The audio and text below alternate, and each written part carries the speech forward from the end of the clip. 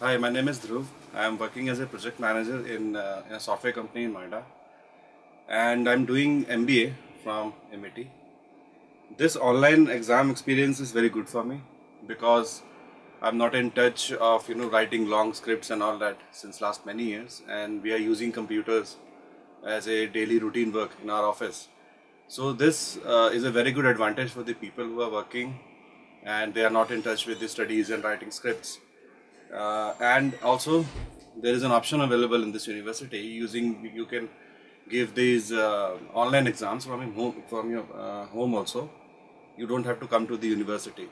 The format of the question questionnaire is very good.